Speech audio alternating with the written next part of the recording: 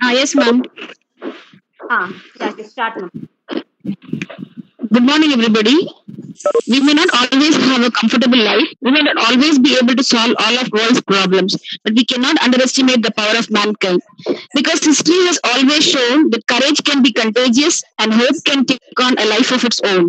Amidst all the chaos due to corona crisis, it's really nice to meet you all through the virtual learning platform WebEx for the two-day online faculty development program on sensitization on intellectual property rights by Mrs. Beulah Jemima, advocate and mediator, Bengaluru. With the same enthusiasm and joy, I would like to invite Dr. Asha, Quincy Asha Das, IQAC coordinator, Chevalier T. Thomas Elizabeth College for Women, to welcome the resource person. Over to you, ma'am. Yeah. A pleasant morning to one and all present here. Chevalier T. Thomas Elizabeth College for Women, the first self-financing college under the University of Madras, was established in the year 1985 by the late Dr. Elizabeth Thomas under CTTA Trust. Presently, the chairman, Justice J. Kanagaraj, retired, and the managing trustee and correspondent, Sri L. Palamalai, retired IAS officer, have been the pillar and our main source of strength.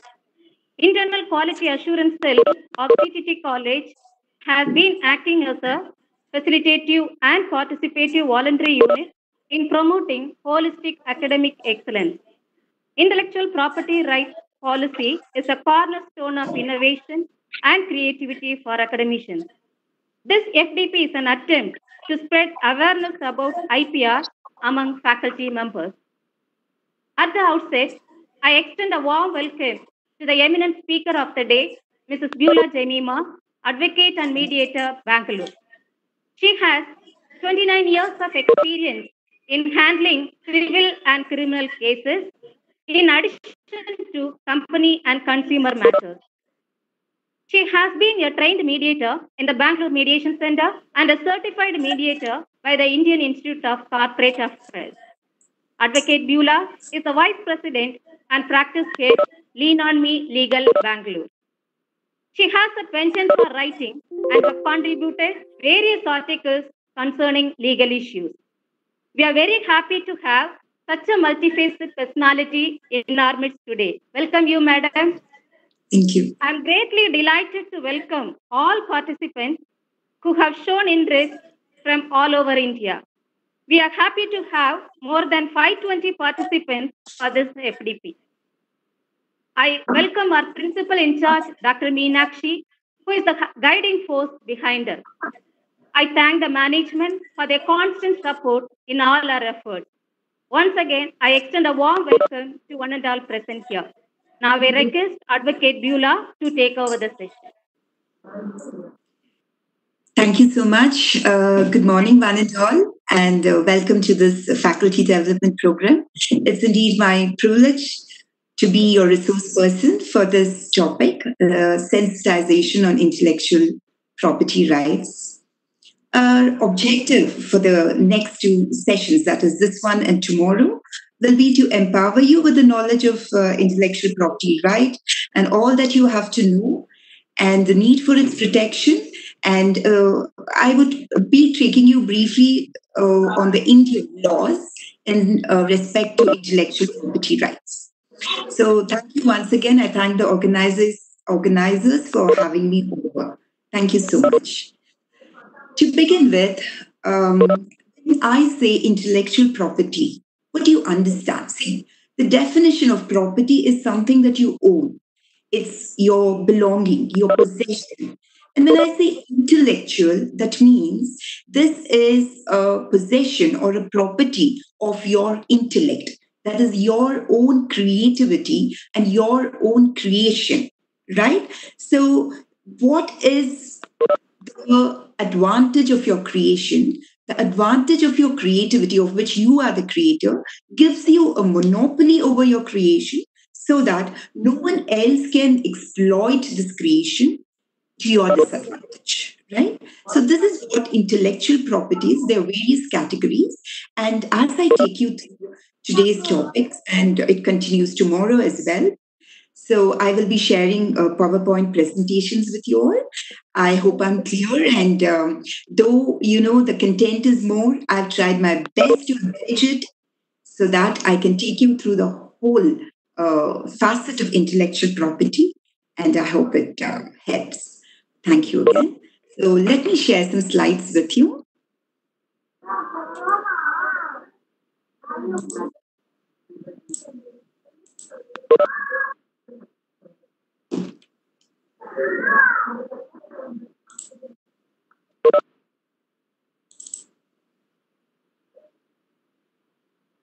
So today's uh, topics will I'll just start with introducing what intellectual property, which I've also given already, and the history of intellectual property as to how it began to take shape and why we need intellectual property and how can intellectual property be protected uh, copyright. Uh, today, we will only deal with one category of intellectual property, that is copyright. And I include ICT innovation and if time permits, maybe a little on the Designs Act as well.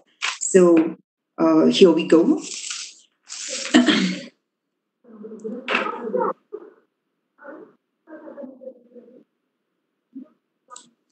So as you see, intellectual property law is all about uh, the exclusive rights over your invention, over your creativity, which includes copyright, and then the trademark, which uh, identifies or signifies signifies your entity with another, your business with another. This is, in short, uh, I have just put all of this, which makes up intellectual property law.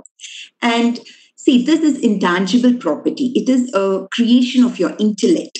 It is a creative product that is invented by the human mind and its creativity. And law treats IP or uh, intellectual uh, IP's intellectual property for short.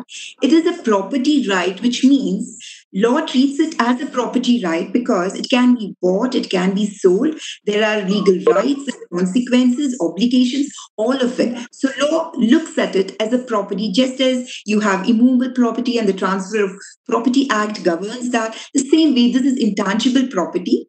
Uh, which is also which law uh, uh, kind of treats it as a property right, an intangible property, I can say. Now, the main categories of intellectual property are, you know, designs, patents, invention, authorship over your uh, work, uh, and that is copyright protection and brands which come under trademark. And I will just classify into four main categories. That is patents. First, let's go with patents. Patents, patent is a document that acknowledges the invention and it gives protection to the inventor over his invention right? And this invention can be exploited by somebody else only if it is authorized by the inventor. Now, the second one is the industrial designs, which is the second category which uh, is important. As I said, four categories are mainly important. One is the patent, the industrial designs, and then the trademarks and the copyright.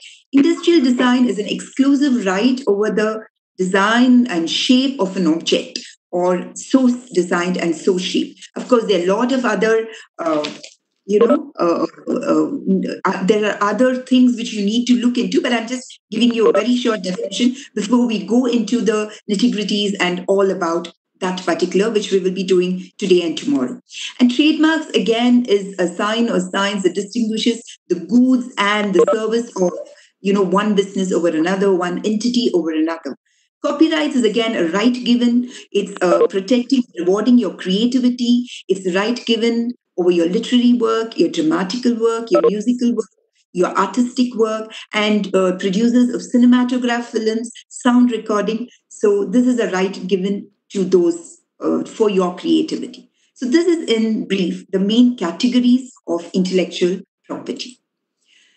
Um,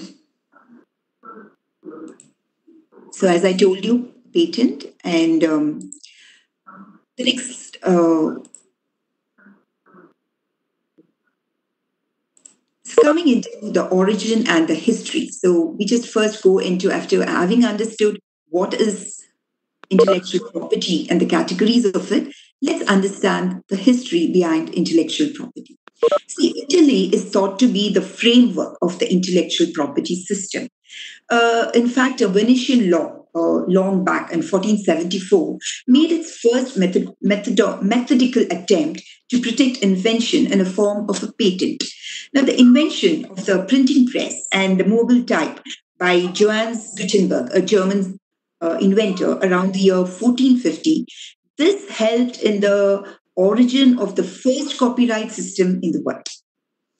Subsequently, it was the British law in 1623. And, you know, at that time, all the major industries were controlled by guilds. These guilds, they were responsible for bringing inventions from everywhere to the marketplace. This was essentially brought to give protection and ownership over inventions. by the end of the 19th century, there were, you know, as you know, industrialization took place, there was travel, and, you know, it sort of the globe shrunk into a global village in the sense in 19th century there's so many inventions economy boost of economy growth of cities investment of capitals. And you know there's these and many countries it led to establish modern intellectual property laws. Now the international intellectual property system it began to shape take shape with the creation of the Paris Convention. The Paris Convention was held in 1880 in the 19th century, you know, uh, when rapid industrialization took place and everything then came the Paris Convention. This was mainly to protect industrial property. And this was also an international agreement through which inventors could protect their invention even if they're being used in other countries. Um, so, as I told you, as you can see, that uh, uh, the writers, even in the Paris Convention, the protection of industrial property, this was in 1883, and subsequently the writers came together in 1886 for the Berne Convention, and this led to the protection of, at an international level, of all forms of written expressions, whether it was songs, poetry, literature, uh, you know, stories, drawings, sculptures, paintings. So that was the beginning and the culmination of the copyright system. This was the Berne Convention. And then the trademarks agreement was in 1891, which was in Madrid. It was called the Madrid Agreement, where trademarks were given protection. Subsequently, so you know, as we are evolving, you all know we are evolving, and every day is a progress that we make in terms of intellect, in terms of technology and advancement in technology, industrializ- industrialization, and so on and so forth. So, subsequently, what happened in uh, 1967, the Paris and the Berne Convention, they combined to become the United International Bureau for the Protection of Intellectual Property. And that is the precursor of today's World Intellectual Property Organization, in short known as WIPO, which we know. This was a self funding agency of the United Nations and established in 1967.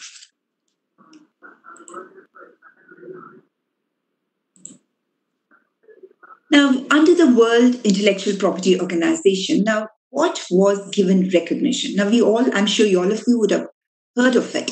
Now, what were the topics that were given recognition under the World Intellectual Property Organization? Were trademarks, as you can see, service, service marks, commercial names and legislations, invention in all fields, industrial designs, protection against unfair competition, literary, artistic, scientific works, scientific discoveries, performances of artists, uh, uh, broadcasts. And so WIPO, in fact, became a reference source you know it provided for international rules so that all member countries had to comply with those rules if they were becoming a, a you know a part of this. And this WIPO actually envisaged protection of intellectual property across borders to resolve disputes to connect different intellectual property system across the world and share knowledge and programs. So that was about the intellectual property system which took place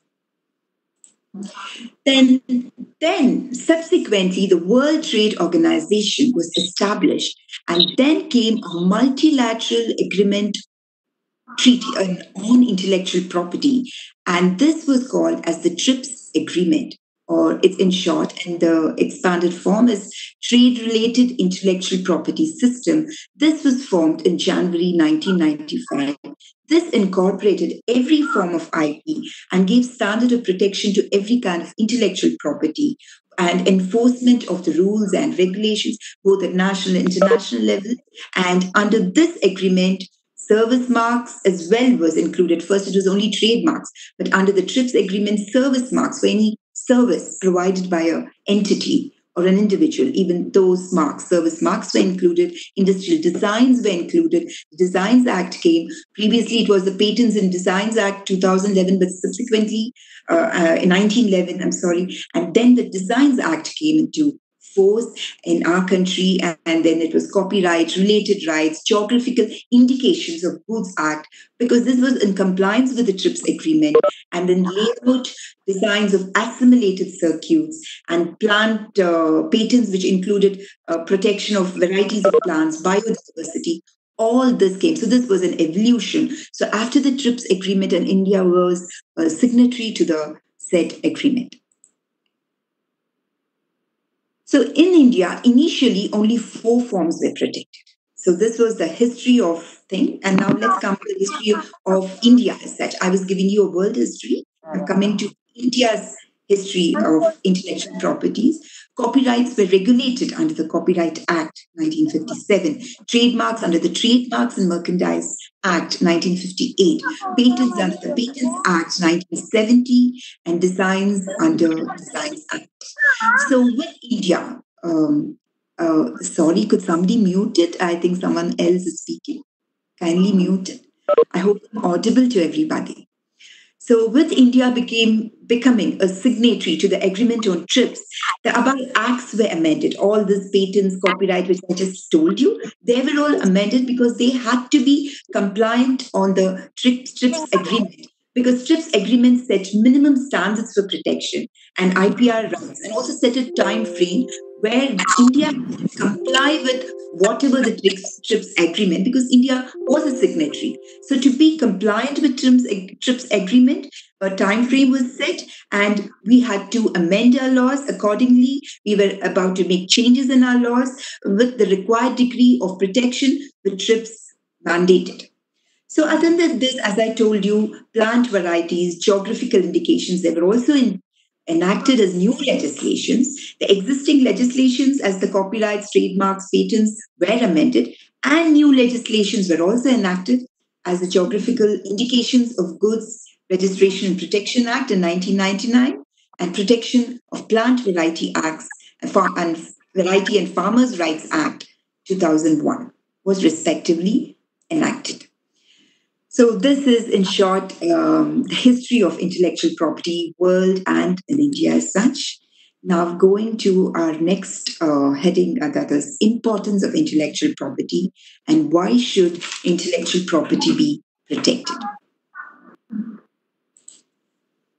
See, we live in a globally competitive environment, as you all know, and um, so intellectual property is very critical because it fosters innovation and invention. It encourages. And uh, we need to protect it so that somebody else doesn't copy it, someone else doesn't exploit it, and we get the reward for our creativity. It is simple, right? It's it's it's it's it just uh, makes one think that why not I have this recognition and protection over my and you know, benefit from what I have invented or what I've created. So, intellectual property is critical for its inventions and invention, which is fosters and which it encourages. Now, when you don't protect your idea, you don't. Yeah? You can protect your idea, your business, individuals will reap benefits. Otherwise, you know, idea remains an idea unless it comes into form and existence. And you know, you even research and development over your invention boosts the economy of your nation. It helps you in many ways to uh, help national economic growth. Besides artisans for their performances, for their talents, for their creations, they are rewarded so that you know they're recognized and acknowledged and probably monetarily uh, not probably, sh- they are monetarily uh, rewarded too. So, in that sense, you know, uh, uh, intellectual property is important. And why should we protect protected?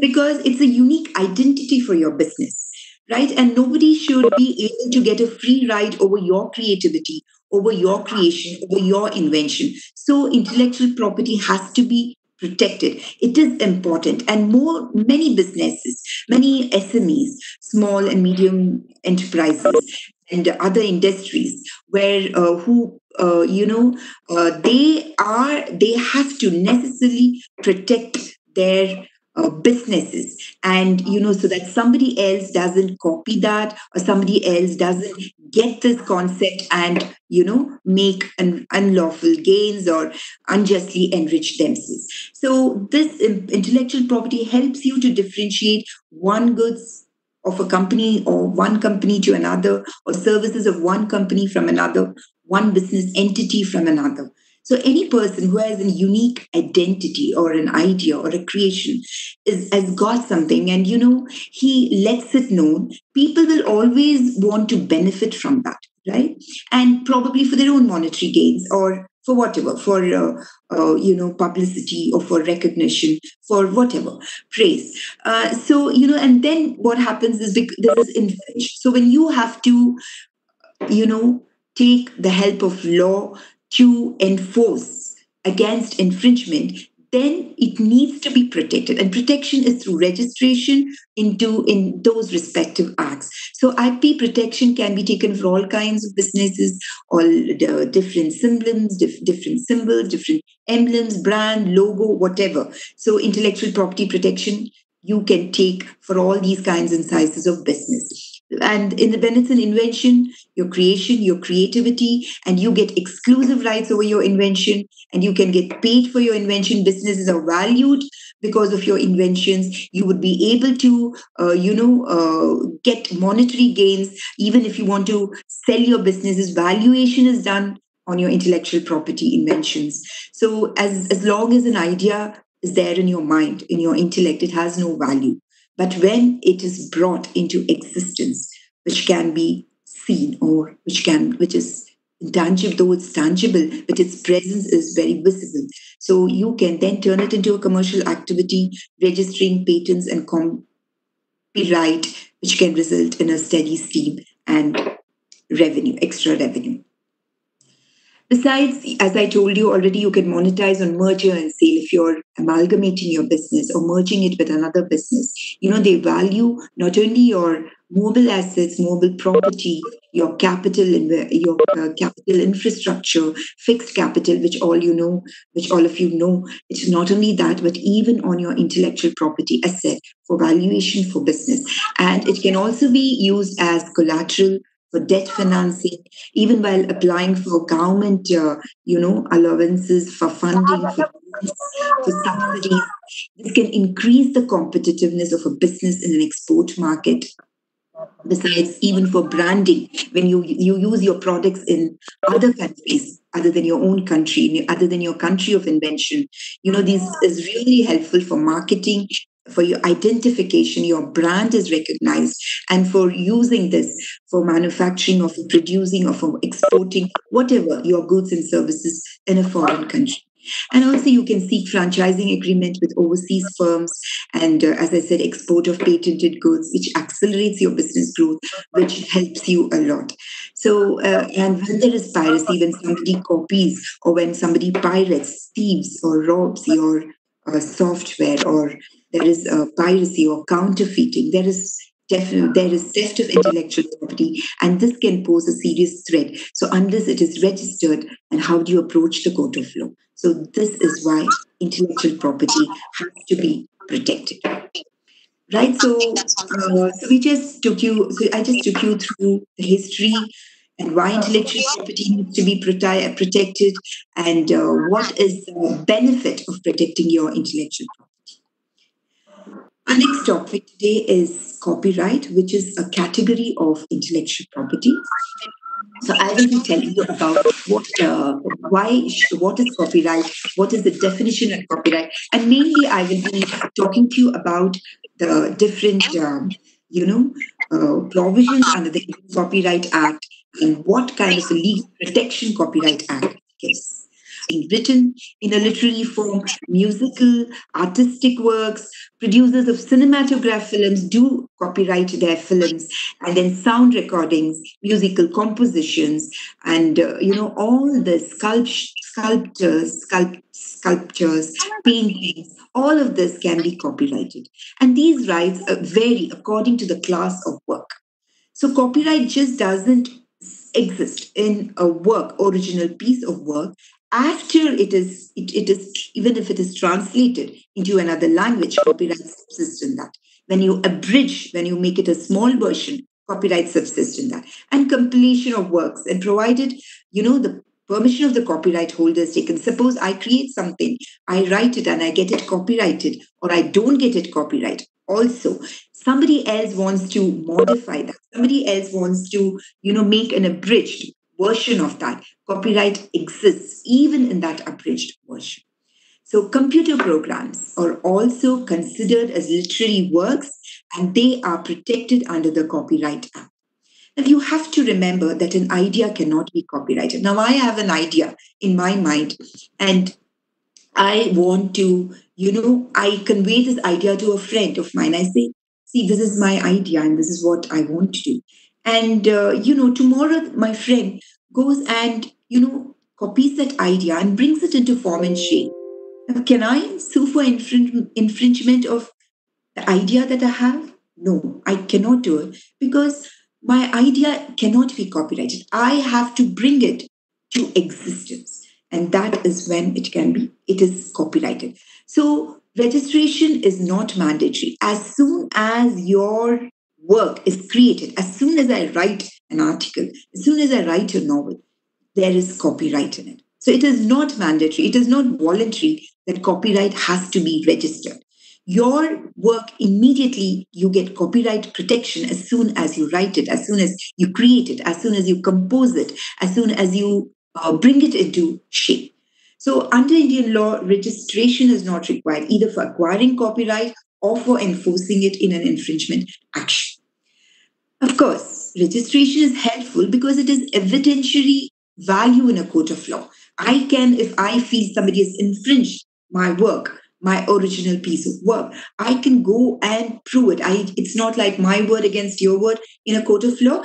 I try to corroborate my contentions by showing my registration, by saying that I have copyright registration. It was published it was registered. So I have all this evidentiary value and it substantiates what I'm contending.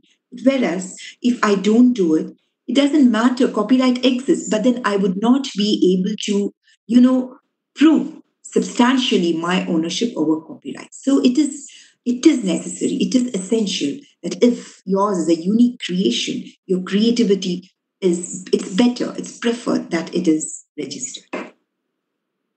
Now, can you you cannot take a photo or an article snippet from another website or another blog or a photo or a music or some composition and and you know pose yourself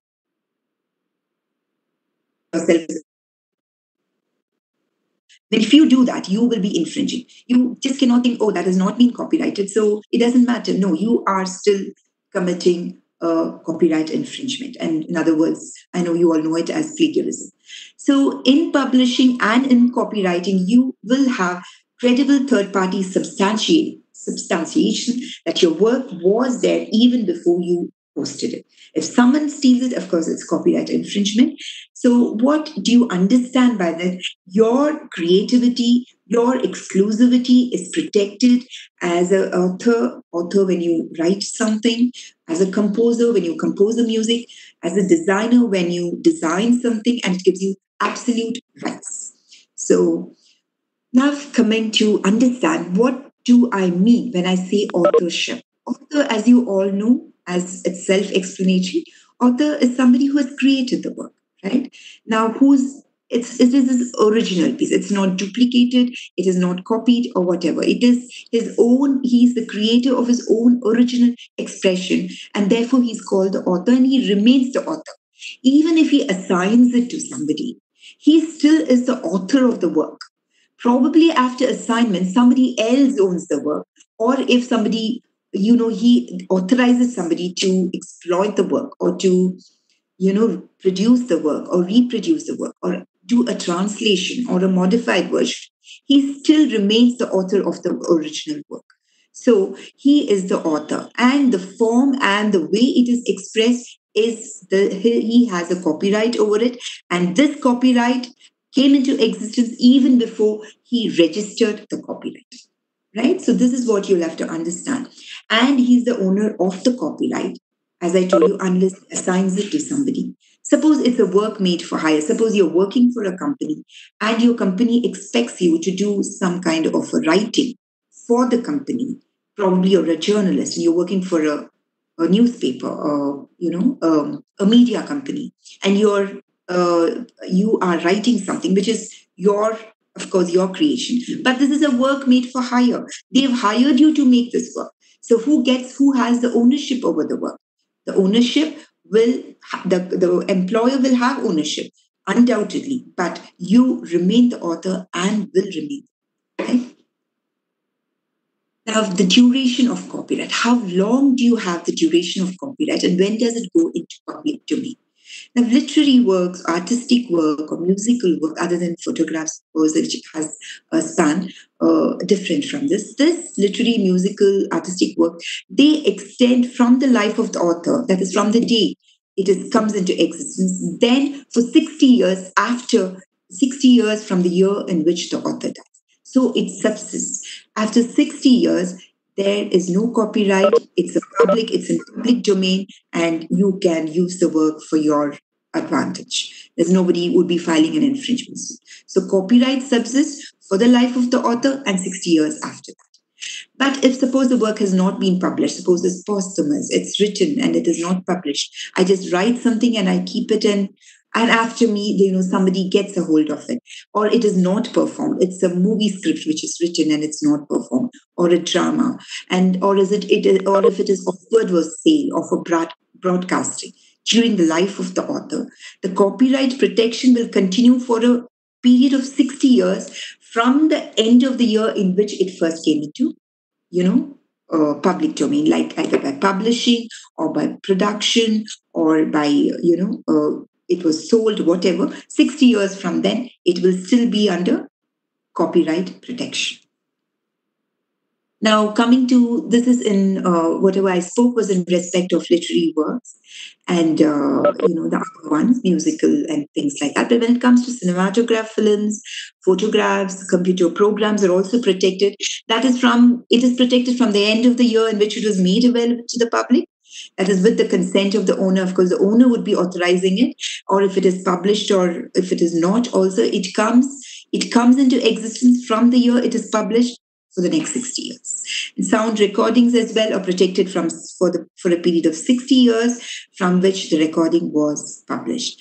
When it comes to anonymous where you don't know who the creator who the author is or when it is pseudonymous you don't know is, and more people are there, and uh, you don't know the source of its origin. The copyright is still protected. Uh, of course, the author is not in the picture here. The copyright is still protected for 60 years from the end of the year in which the work was made available to the public uh, with the consent of one who had possession of that or who was owner of that. And it continues for 60 years or if at least, or if where you know it is a posthumous work or where uh, the author has died, it continues for, still for a period of 60 years. So that is what you have to know about authorship of a work. Now, uh, talking about international copyright protection, how does your uh, work, suppose you have written a piece or a, or created a work or composed a work in India. Now, India is a member, as I told you, of both the Berne and Convention as well as the Universal Copyright Convention, which extended works to all copyright uh, copyrighted works originating from any con- convention country, whoever have been a signatory to these conventions. So they will have the same kind of protection, just as Indian works are protected in those convention countries.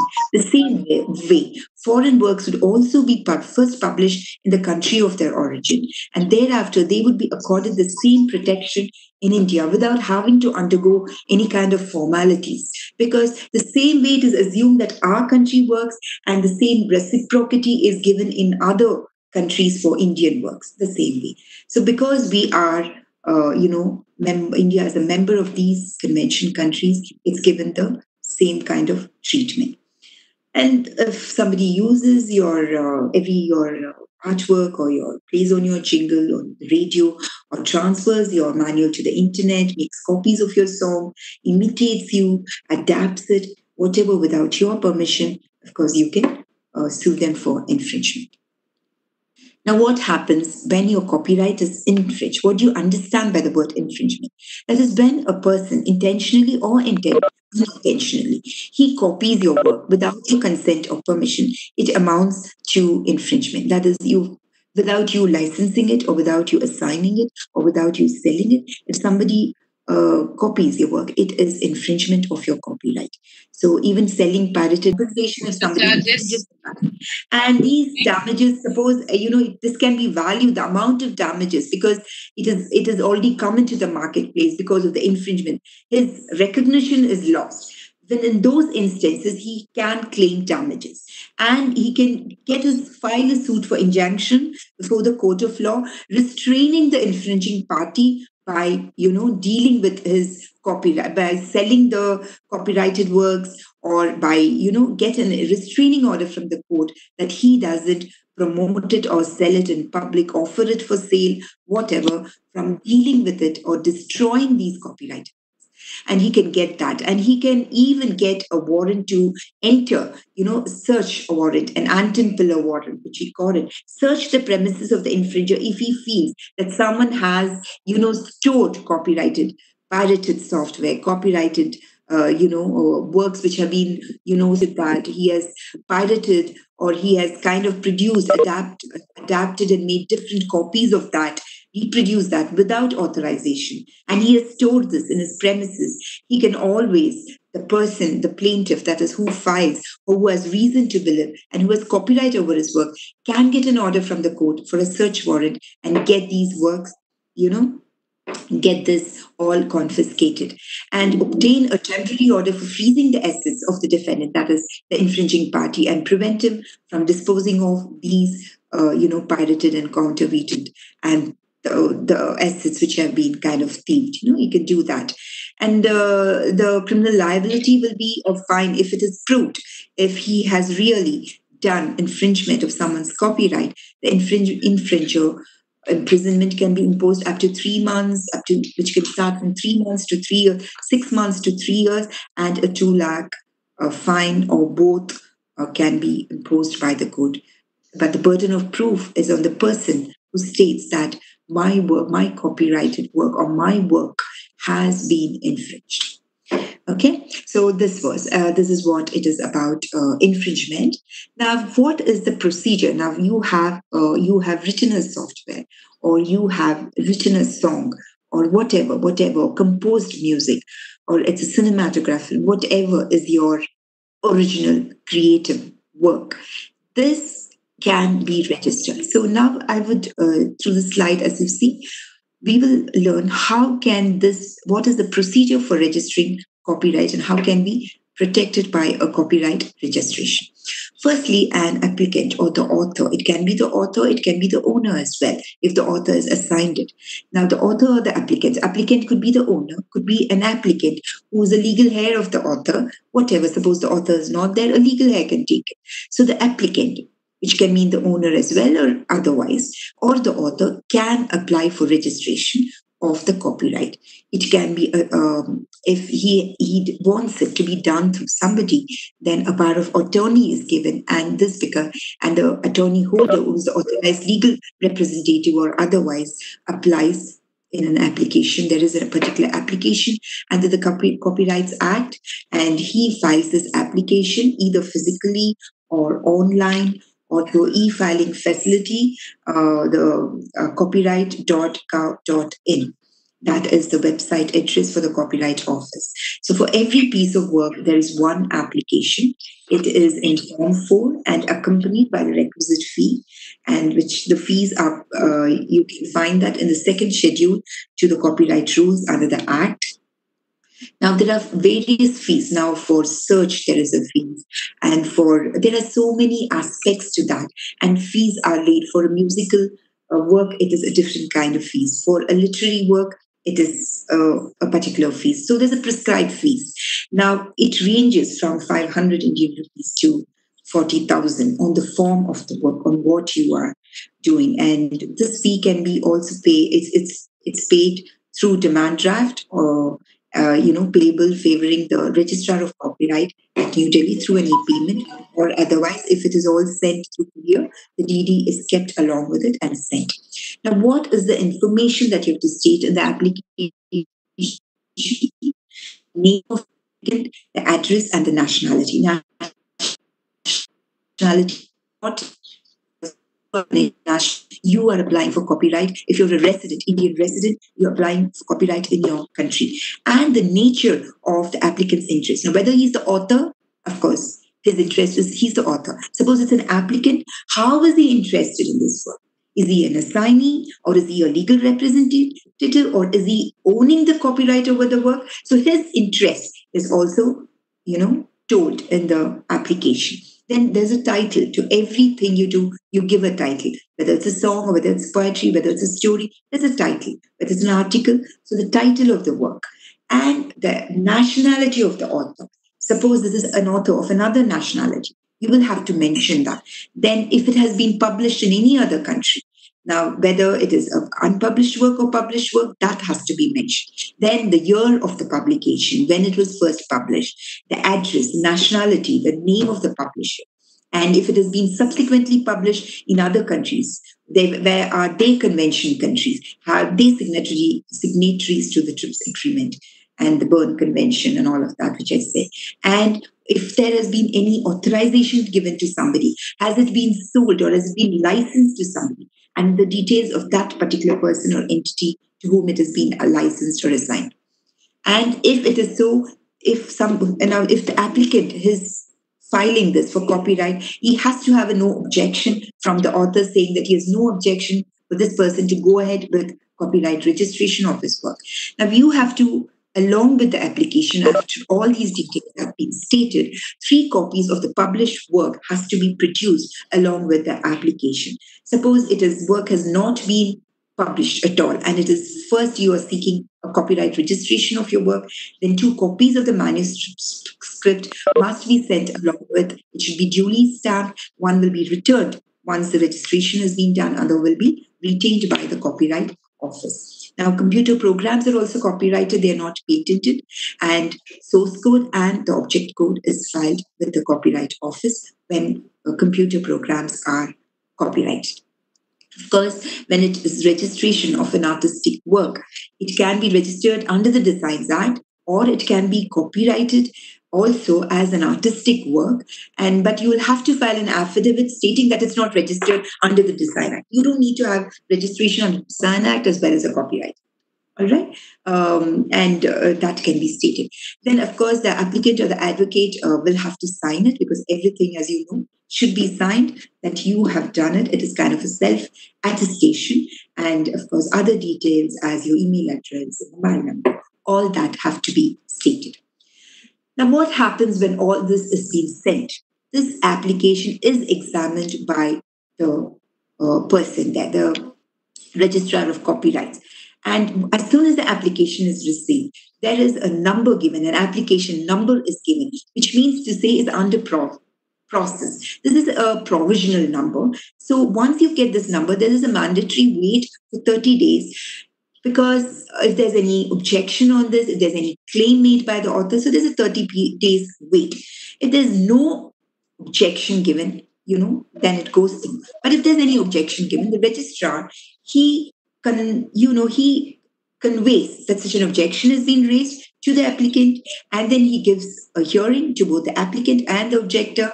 And after you know, that is kind of solved, then the decision of the ownership, or if he feels that there is no basis for an objection made, the objection is rejected, and then the application goes for scrutiny. And if there's no discrepancy found within 30 days, suppose sometimes the application may be incomplete, some uh, details may not be given, then you know discrepancies are there. Uh, right? Then it is then when you will have to the copyright office is uh, uh, you know conveys this to the uh, applicant.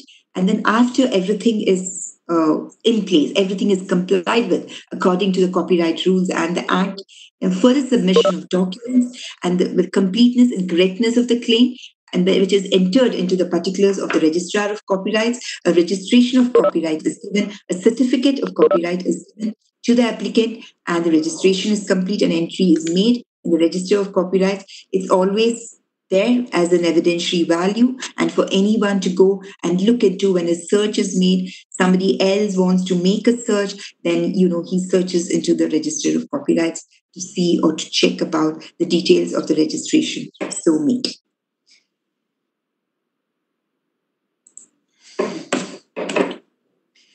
now coming to moral rights in a copyright now you will uh, you will wonder what is moral rights now, these are the special rights which an author has got even after assigning his rights over his work.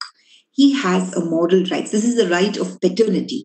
This is the right of the author to claim authorship over the work. Though he has made money, though he has sold his work, he still retains this paternity rights. Okay? But, and this right of integrity permits this author to restrain or claim damages in the event of a distortion to his work or a mutilation to a work or modification or any untoward act done in his work. So, what is essential is this act of mutilation or modification or distortion done, it should in some way prejudice the honor and reputation of the author. That is when, under Section 57 of the Copyright Act, he has a right to enforce his right which he has got. Because his work over which he has paternity rights is being exploited by somebody. Though that person has the authority as a licensee or as a owner of the copyright or as a applicant whatever he has the right over it. But still his his work has been you know ill treated in some way. He has he can proceed under 57 of the copyright act. I would like to um, uh, tell you, uh, before going into that, I would like to tell you about a case law which is, um, you know, uh, if you've all heard of Ilayaraja, uh, who is a very uh, popular music composer, he had, in fact, uh, his was a long-standing copyright dispute and involving music, you know, music maestro, uh, whom you all know, Ilayaraja, where this was a there's a long-standing copyright dispute between him and uh, uh, a film producer, because you know the and then the uh, High Court of Madras it the, it kind of uh, made a very proper ass- assertion Oh, and observe that a music composer has a right over his music composition and somebody cannot exploit it to the disadvantage of the music composer. So it made a very clear distinction between the music composer's right, film producer's right over sound recordings in a film. Because this was, in this particular case, Ilayaraja was a composer of his musical work. He had authorship rights over it. And whereas the film producer had his sound recording rights, has, has had his uh, music, uh, his film cinematograph rights over it. Now, the court highlighted that the author retains his moral rights over this work, over his composition, and these are recognized as an author's special rights, as I told you under section copyrights, and these rights would subsist, subsist regardless of any contractual obligation. That was the finding of the Madras High Court. Um, in this particular, this is the moral rights, as I said. So, irrespective of the medium of delivery, it was he, this person cannot, you know, do it so as to bring, uh, so as the new composition where the film producer works on it is to bring disrepute or prejudices the interest of the author. Right, this was an important case. There's another case which also I would like to um, bring it into, you know, which was another landmark case, and this was in um, uh, 1957. The government of India had commissioned a person, Mr. Sehgal, to create a bronze mural, a bronze mural to create it for the Vigyan Bhavan, which was a prominent International Convention Hall in Delhi.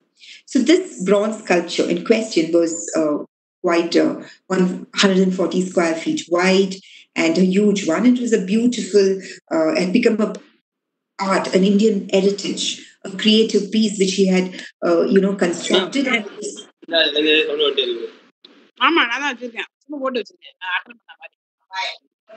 Sorry, so he had created this, and this was placed in the lobby of this international convention hall at Delhi, and it was a beautiful work of art. You know, it was a part of the Indian art heritage and belonged to uh, and and was deemed a national architecture. Now, when this was so, in 1979, that was almost after 22 years of its creation, this mural was pulled down and it was, you know, taken down and consigned to a storeroom in the union office uh, without no notice was given, no permission was taken from the uh, from Mr. Sehgal who had created it, and there was no authorization given by Sehgal to do that. Now, when Sehgal came to know of this ill treatment to his creation, he was, of course, very disturbed and distressed over it that he gave representations to the government. However, it was of no avail and nobody, uh, you know, took uh, any kind of an action over that. So he was constrained to go to the court under 57 of the Copyright Act. And the question here was whether he had a right on the sculpture which had been, which he has created and handed it over, which he has already commissioned, and how does it help? Now, when this was done, and uh, you know, the court decided, and he had sought, in fact, he had sought for an apology from the defendants, and he had sought for a permanent injunction and for distorting, for mutilating the plaintiff's mural and damages. And then he had also sought for 50 lakhs compensation, which was granted. So this was another case where moral rights came into the picture, which is quite prominent and popular, which had to be mentioned.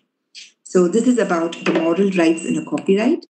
Uh, next, going to compulsory licensing in copyright. See, Indian Copyright Act provides for compulsory licensing of copyright that have been withheld from public. And that is what what do you understand when I say withheld from public? That is the copyright owner has refused to part with it, and it is and it is a, a very uh, you know useful piece, and this has been withheld from public, or it has the performance has been withheld, and then you know you uh, the publication of it has been withheld without any reason then the then the applicant can apply for compulsory licensing of the copyright because the copyright owner does not want to you know give it. So then when has been has withheld it. So that is when you the applicant can apply for compulsory licensing and the copyright board will give an opportunity a reasonable, opportunity and look into why it has been done so. And he can direct the registrar of the copyright board can direct the registrar of copyright to grant a compulsory licensing to the complainant to republish the work or to communicate to the public in as deemed. So it can be granted even in case of unpublished Indian works where the author is dead or unknown and somebody has possession and does not want to, you know, publish it. Uh, so you can ask uh, the apply to the copyright board and seek a license to publish the work. It is to ensure the availability of copyrighted material. So copyright uh, Indian Copyright Act, as you have seen this far, it gives protection to writers and artists so that they benefit from the result of their hard work and to ensure that that copyrighted material is available to the public without infringing the rights of the copyright owner. Uh, before going into that, I would uh, like to uh, talk about another important case, which was Entertainment Network India Limited versus Super Cassette Industries Limited.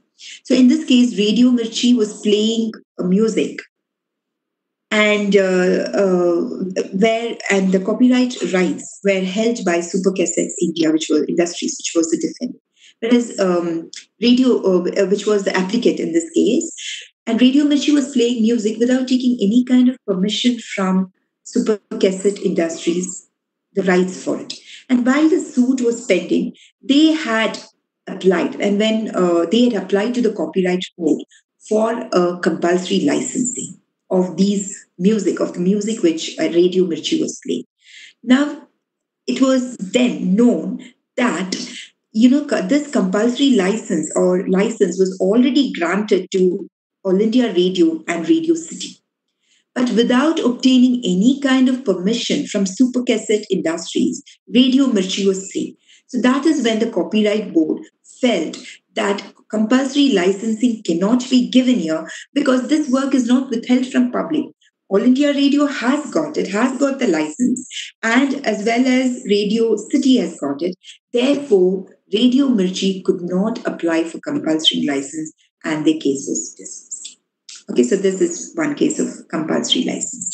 Now, coming to computer works in copyright, as I told you, computer works are considered as literary works under the Copyright Act.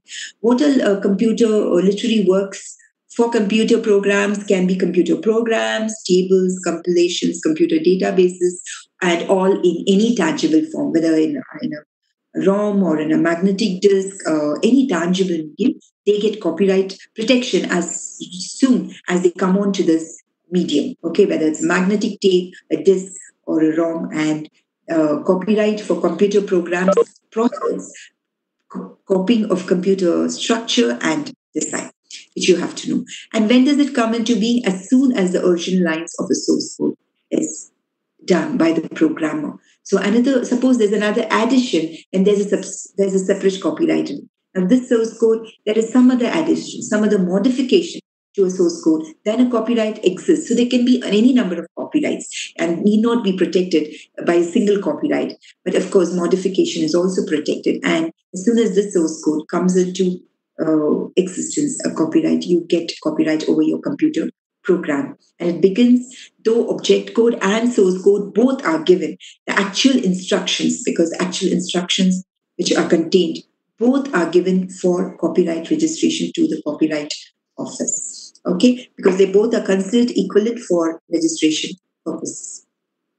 So how do you how is software or copyright infringe as you all know through uh, you know piracy and uh, piracy means reproduction distribution and whatever and then of course without having a license you know making many copies and using unlicensed because you get it at a cheaper price application sale of software all this amounts to infringement of the copyright.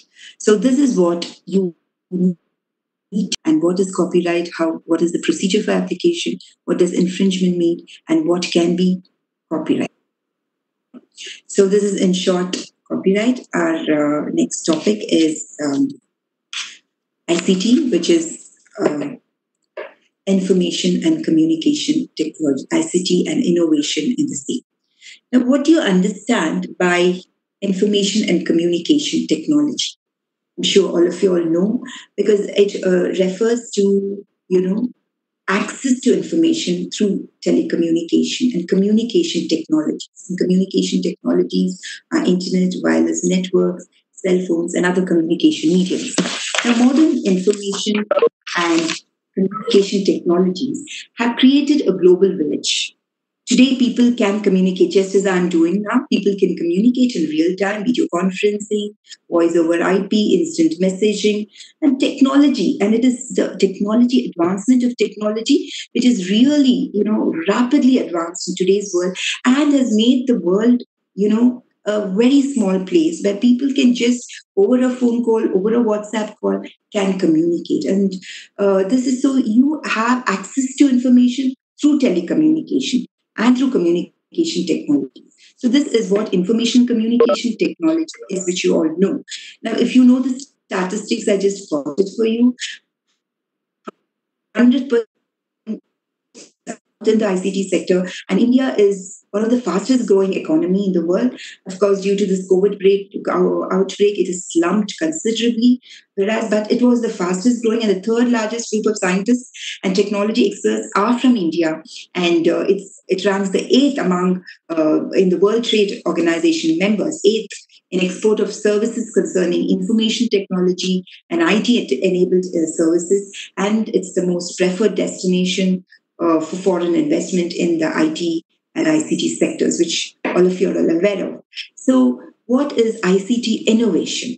As you know, innovation, the very um, word defines it is something new to the knowledge. It is new to the world. It is your knowledge of technology, which is diffused and absorbed in knowledge diffusion, absorption, you can call it, and it is commercialized. Right? This is ICT innovation, if you get it. Now, ICT innovation is in the application of uh, digital and communication technology. So, whatever innovation is made, in uh, it can, it's embedded in the computational solutions. And uh, Joseph Schumpeter he introduced the notion of innovative economy and said uh, technological changes they are at the heart of the economy whereas an intellectual property plays a very significant role. You would be wondering how intellectual property and ICT innovation. Of course, as I already told you, computer programs, any innovation made in technology can be protected under the intellectual property. It plays a significant role because it helps businesses to gain and retain its innovation-based, uh, you know, uh, there is an advantage over innovation-based uh, knowledge and technology. And it facilitates the process of innovation technology because it takes it to the marketplace where inventions are protected and intellectual property gives you that protection over your uh, innovation when it is taken and that's how you know there are so many multi um, corporations and MNCs in India and hired Indian companies for technology advancement. And how are this all protected? You have uh, uh, protection over your intellectual property, which your country is giving, and it's got, got the same recognition and protection because India is a member of all the other uh, conventions world uh, international agreements. So that is the protection intellectual property gives over your ICT innovation so that you uh, investors also uh, based on this get funding and licensing on various strategic businesses types. They are being uh, judged on this basis. And also uh, whatever is patented and copyrighted rivals cannot copy it and claim it to be theirs.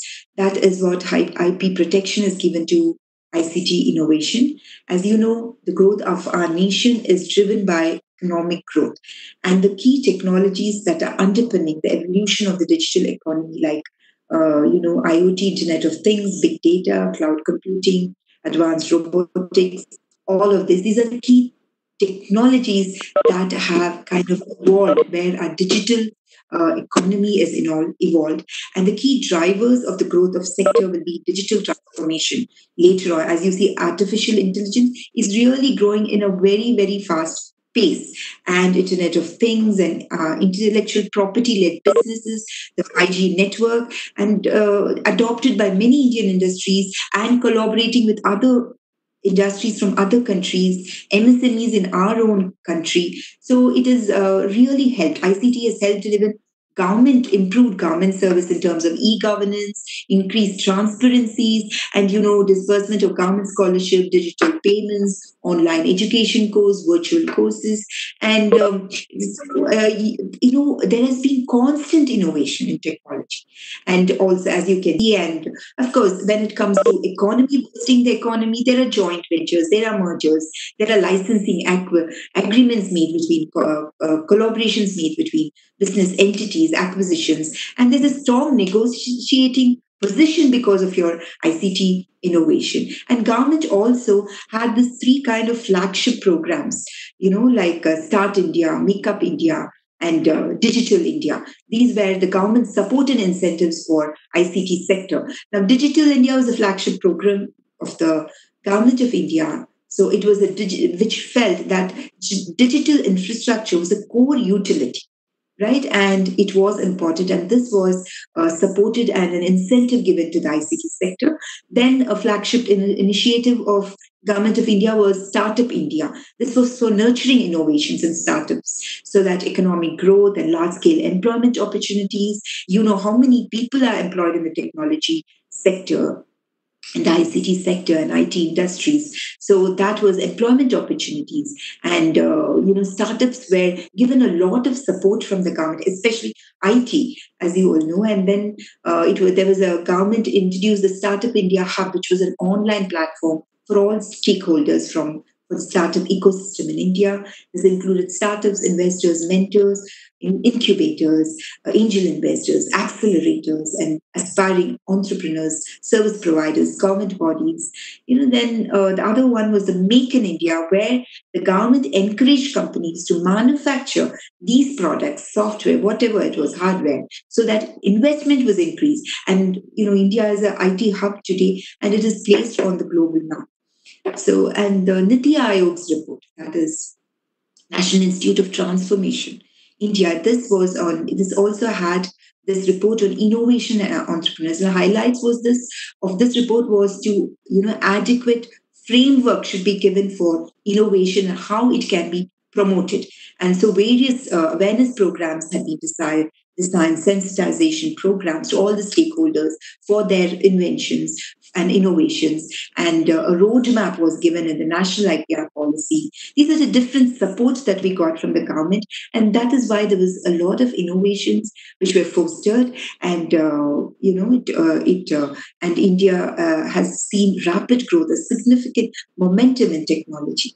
And the institutional mechanism was also, uh, you know, it was, it was strengthened by transferring the administration of the Copyright Act the Semiconductor Integrated Circuits Layout Design Act to the uh, Department of Intellectual Property Protection. In, and as result, this has in, in resulted in an integrated approach between the various acts and the IP Intellectual Property Office. And again, uh, to make the process more user friendly, there was an amendment to the patent rules. 1970 Patent Act was amended constantly first to be in compliance with TRIPS agreement, later on again in 2003 to re-engineer the business process. This was again amended, and this this amendment was helpful because it expedited the examination of patents and more patent examiners were appointed where two or three were there there were 11 appointed so that no patents don't have to be queuing up you know because it takes four five years to get a patent it is really a long time. And uh, you know essentially to commercially exploit everybody wants to get patent over the invention. And this was you know being delayed. In fact utility patents was recognized because so that small time patents were given. And uh, so uh, to make it more competent and more people were appointed and the process of exam- examination was expedited, expedited so that you know this was another uh, re-engineering of the process was taken. And even the trademark ex- uh, examiners were added in addition to those who were uh, already there. Then uh, creativity, innovation, and a scheme named that Startups Intellectual Property Protection was launched, and that way it was increased, and uh, you know, 80% rebate was given in patent filings as well. Of course, computer-related inventions, as I told you, are uh, there is lack of IP protection when it comes to because patents are not awarded, and this is a main area of concern because they're mostly copyrighted. You know they are not given patents. So uh, so the role of intellectual property and ict is currently protected under ict is protected under the copyright act. So because it has software related impl- uh, invention have a technical implementation implication because they cannot be patented they are only copyrighted as programs or uh, compilations or uh, computational solutions so once an entity develops a technology and expands that their ICT base, isn't it? It becomes necessary to protect IPR so that their innovation is promoted and uh, they are given fair prices for their technology and they're valued on the basis of that. Now, today's paper, there's so many mergers and collaborations taking place, and that's technology because of the techno- technology advancement and innovation of that particular entity. But they are not protected under patents, computer programs, especially, and technology is protected under copyright software. So there, there's a way to uh, so a way to increase patent filings in through greater collaboration between IP offices of the world was also promoted, and um, to see how Indian patent data can be become a part of the global patent system and exchange, so that you know it reduces pendency was. So this is about ICT innovation. Uh, I could say IP and ICT innovation in short. And now coming, um, if there is something you want to know about the Designs Act, though it is not in the curriculum today, I can tell that as well. And tomorrow we go into patents and trademarks as such to know into the nitty gritties of what Patent Act is about, Indian Patent Act, the Trademarks Act, and the um, Integrated Semi-Circuit Layout Design Act and Geographical Indication of Goods Act. These are the acts tomorrow we will go through. And this uh, is the different aspects of intellectual property rights in India. So, if there's any questions that you would like to ask, uh, since I have the time uh, for the next 15 minutes, you can ask me that. Or uh, if the administrators allow, I can briefly talk about the Designs Act, though I don't have a PowerPoint presentation on the same.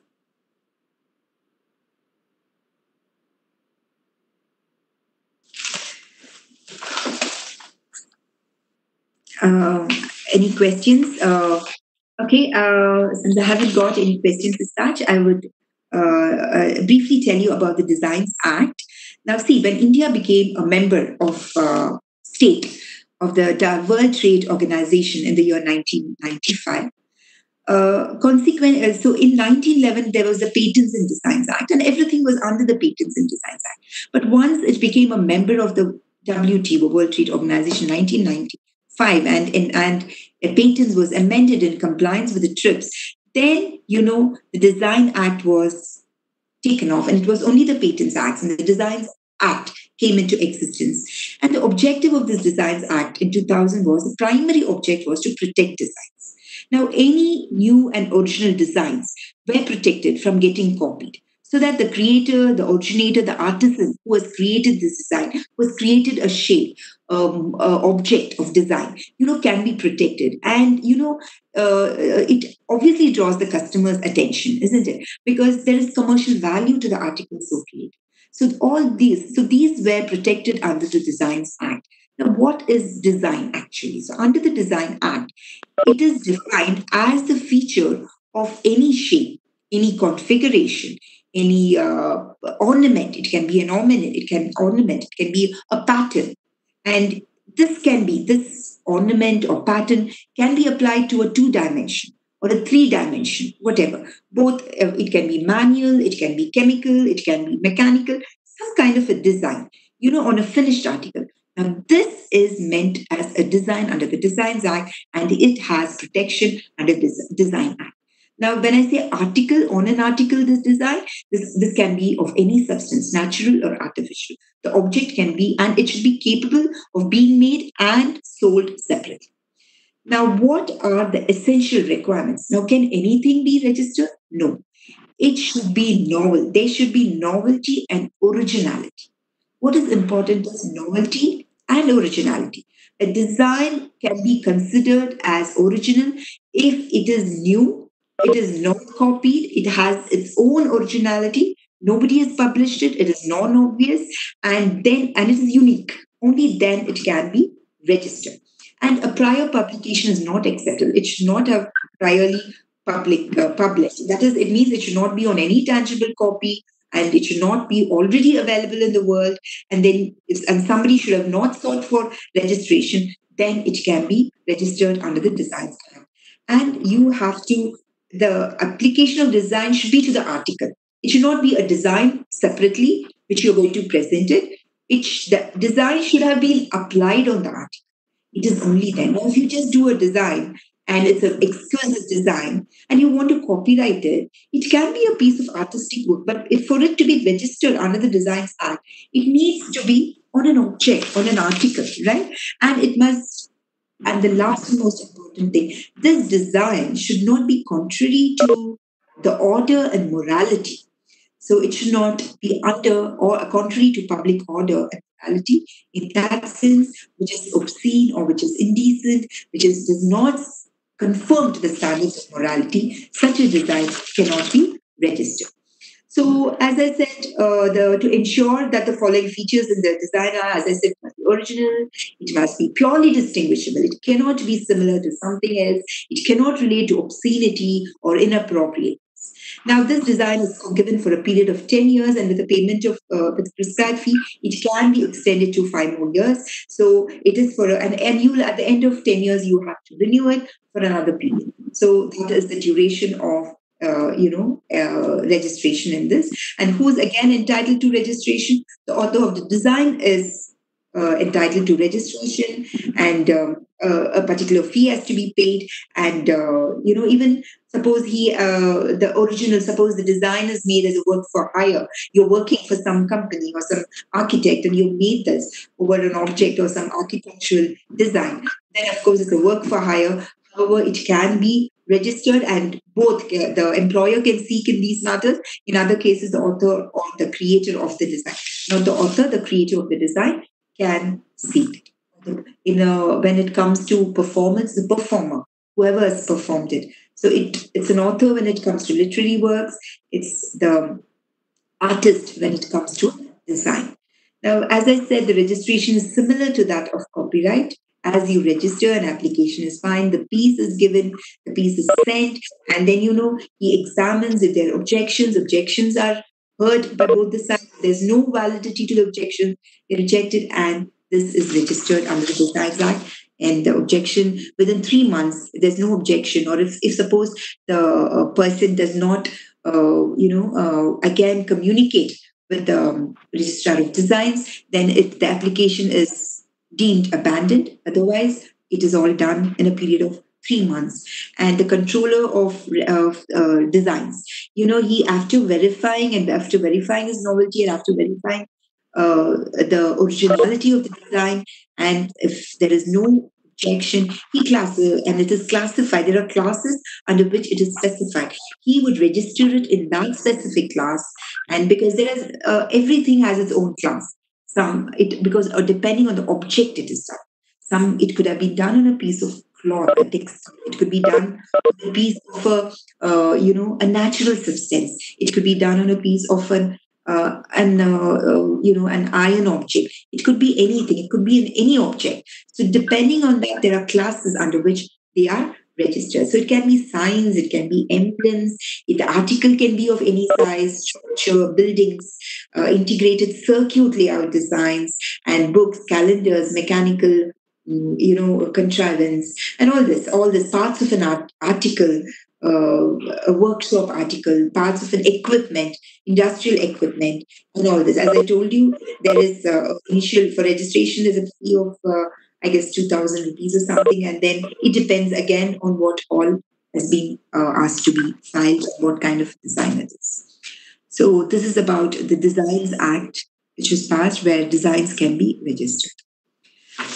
So thank you. I I'm sorry there have been I think a lot of disturbances to audio, but I hope uh, it's been clear. And now I would request you to uh, ask any questions that you would like to ask.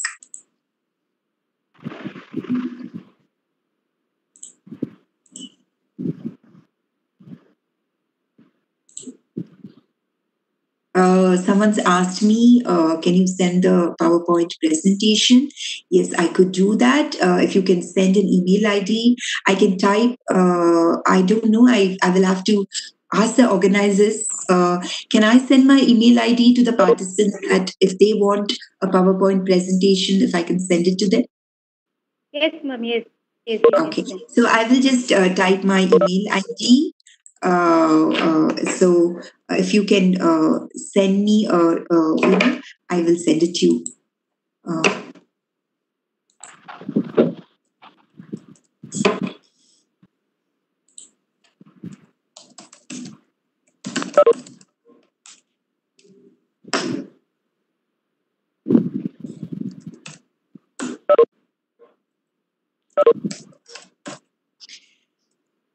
Uh, uh, Thank you. And there's a question. If I publish a book with ISBN number apart from copyright, can I use any of IPR? Okay. Um, I'm sorry, I didn't see the name from whom it was addressed. Anyways, okay, to your question, I told you a copyright subsists as soon as the work is created. So registration is not mandatory. The, the time you create it, it, there is copyright.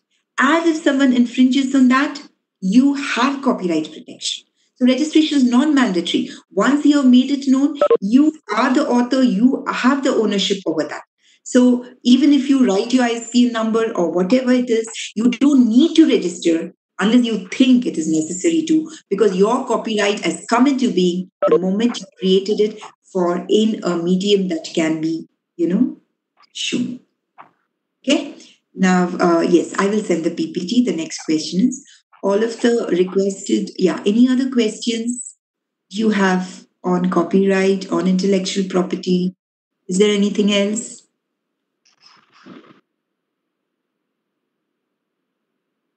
Um, everyone's thanking me, and I'm. It's my pleasure, and I deem it a privilege to be your uh, resource person today. Uh, it's my pleasure. Thank you. Uh, okay, there's another question. Uh, good afternoon. When I publish a YouTube video under Creative Commons as open educational resource, do I still hold authorship? Definitely, if it is your original creative creation whatever you now if even if it's on youtube it's your original creation if somebody else copies that they have to take your permission or they will have to quote you they cannot pass it off as they are the owner or they are the ones who have you know published this. So once you have published it on youtube and it is your original piece of work.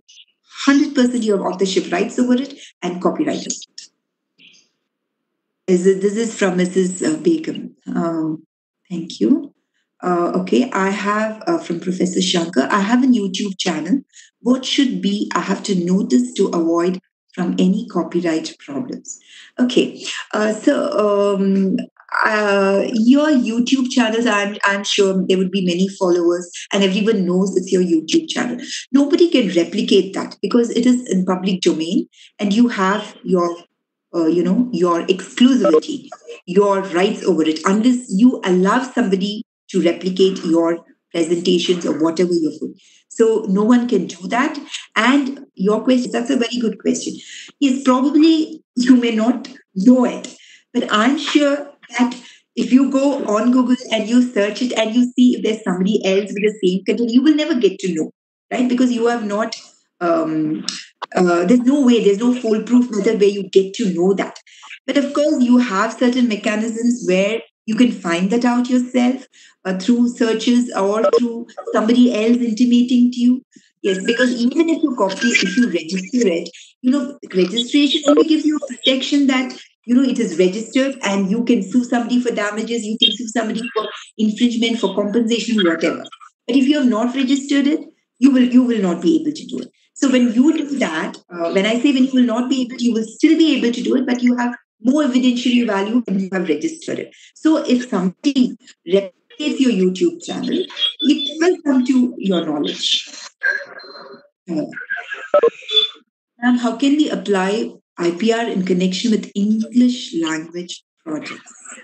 Now, um, I don't know what your specific question is.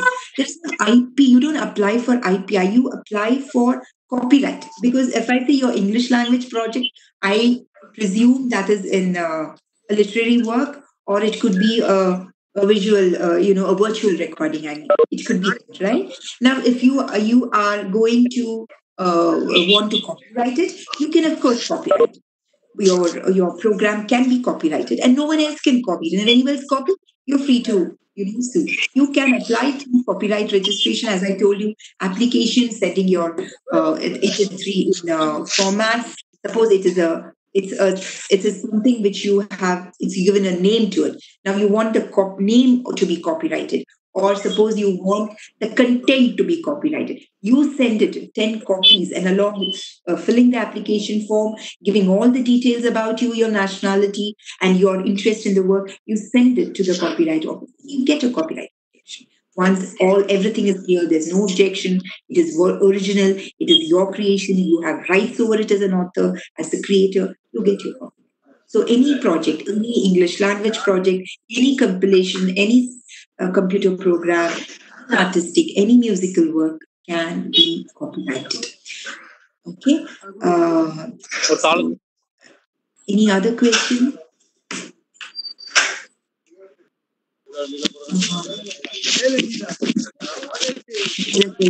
Can you send? Yes, I will send the PowerPoint presentation. I have kind of uh, changed my email ID. So you just let me know who wants it and I will send it.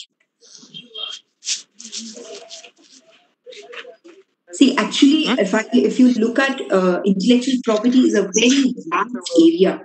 You know, every uh, in our law colleges we teach it over a year, okay, over six months, and there is so much to it. But I have kind of you know made it a very abridged content to make you understand what it is essential that you should know. Uh, that's all, you know. So kind of I put it all together, collected it from the net, and made it very small because if I have to go into the details, one and a half hours, and as I told you, the syllabus and the contents will take almost a year in law colleges. It's a subject in itself, and there's so many aspects to it. When you go into different rights, what is different literary works, dramatical works, lit- so many case laws on that. It's a huge, vast portion. So I've tried to, to make it as simple as possible because I was told most of you are not aware of IPM. So I will try to make it possible in push. So think, um, Okay, there's somebody who's asked, preventive and safety measures about copyright issues and the uh, need. Uh, now, okay, you've said you can understand. Okay, thank you. I thought you were asking me a question. Now, um, what is the next? Me, all the participants requested to fill. Okay, so this is about it. Uh, is there anything else? Uh, uh, uh, administrators, can I ask you? Uh, I think there are any other questions coming in because uh, on my, uh, you know, it shows on my monitor there are no more questions.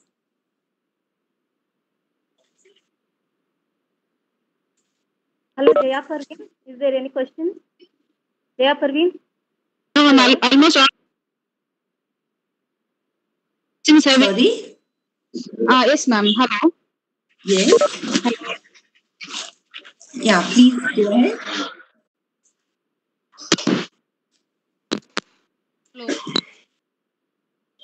Hello, ma'am. Yes, please go ahead. Yeah, I can hear you. Yes, ma'am. I think all the queries have been resolved.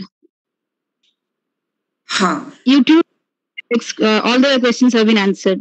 Okay, okay. So uh, the session ends here. So I will meet you again, all of you all. Thank you so much for participation and for bearing with all the you know interruptions. Thank you. It was indeed my pleasure.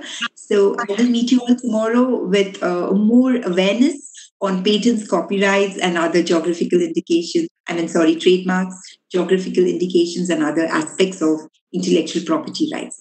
Thank you. Yes, And bye. Have a good day. Thank you. Just a minute, ma'am. Yes. Yeah, thank our resource person, Mrs. Beulah, for enriching our knowledge by any presentation, clear explanations, real life examples like Ilaiyaraaja and Radio Mirchi cases, and clarifying doubts with more patience. Thank you so much, ma'am. Welcome. I- Thank you. I would like to thank all our organizers and let us all meet tomorrow for the second session of FDP. Uh, participants, please check your mail for the links. Before the session could end, let me tell about the feedback forms. Feedback uh, link will be shared in the chat box at the end of each session. The link will be open for one hour. You need to fill the feedback forms of both the days only only participants who attend both the days of FDP and the feedback from for both the sessions will receive e-certificate probably within a week. Thank you, and thank you so much, ma'am. Thank you so much for an informative session. Thank you. Yeah, thank you. Let's meet tomorrow. Thank you, ma'am. Have a nice day. You too. Thank you, ma'am.